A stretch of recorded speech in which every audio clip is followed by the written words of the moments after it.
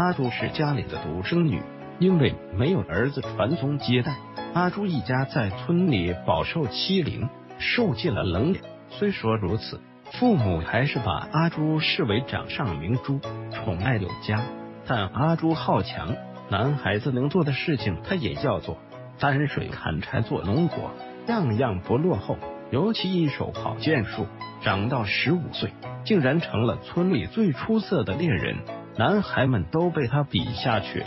阿朱靠着出色的打猎本领，改善了家里的生活。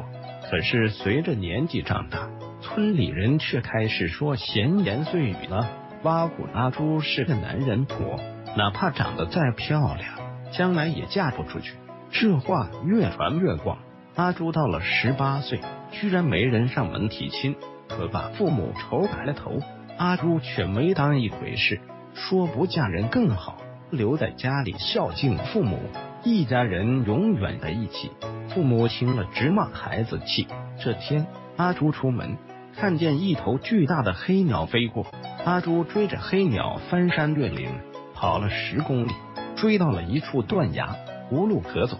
眼睁睁看着大鸟飞走了，阿朱气喘吁吁坐了下来，竟然发现黑鸟在崖顶下了一只蛋。阿朱又累又饿，干脆就生了一堆火，把鸟蛋烤熟吃了。没成想，吃完鸟蛋刚回家就肚子疼，到后来肚子不疼了，却鼓了起来，一天比一天大。父母请来郎中，一把脉，竟说阿朱有喜了，全家人都吓懵了。消息不知怎么传了出去，村里什么难听话都有，说阿朱怀了个野种，连孩子父亲是谁都不知道。消息越传越广，阿朱的名声算是臭到底了。村里人路过家门口都要吐口唾沫骂一句。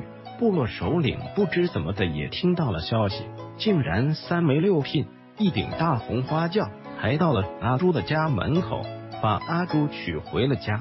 村里人吓得再也不敢说坏话了。阿朱怀孕三年，生下了一个大胖小子。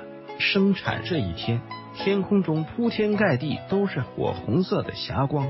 部落的大巫师卜了一卦，说天命玄鸟，降而生商，这孩子命里大富大贵。果真，孩子长大后天赋异禀，一统诸多部落，成了开国皇帝。阿朱母以子贵，成了最尊贵的女人。回村省亲那天，村里那些说过坏话的人吓得崩溃大哭，跪求原谅。如果你是阿朱的话，要严惩他们还是原谅他们？